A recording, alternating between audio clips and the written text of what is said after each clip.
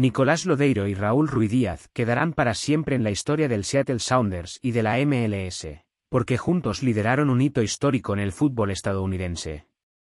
Se han disputado un total de 17 ediciones del Mundial de Clubes de la FIFA desde su primera edición en el año 2005 y nunca el equipo de Estados Unidos pudo estar presente en representación de la CONCACAF. Esa racha adversa será terminada en la edición de 2022 cuando Seattle Sounders vaya a disputarla.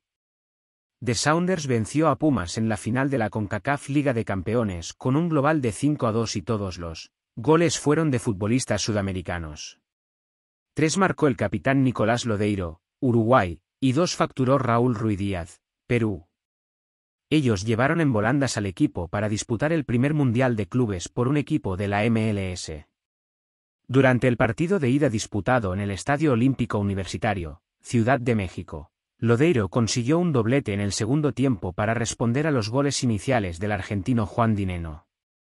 Mientras que en la vuelta apareció el instinto goleador del peruano Raúl Ruidíaz para marcar los dos primeros de la goleada 3 a 0.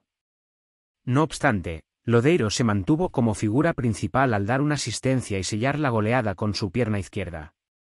Lodeiro terminó el torneo con cinco goles y dos asistencias para ser el MVP, y Ruidíaz cosechó tres goles claves en el trayecto del campeón. Lodeiro, que llegó en 2016 al club procedente de Boca Juniors, es ya considerado jugador leyenda del club porque ha estado presente en varias conquistas.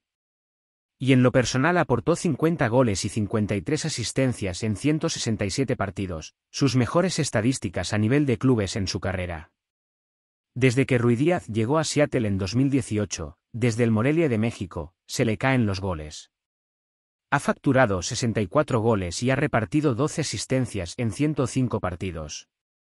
Seattle rompió una racha que tenían los equipos mexicanos desde el 2006 ganando el torneo más importante de la CONCACAF.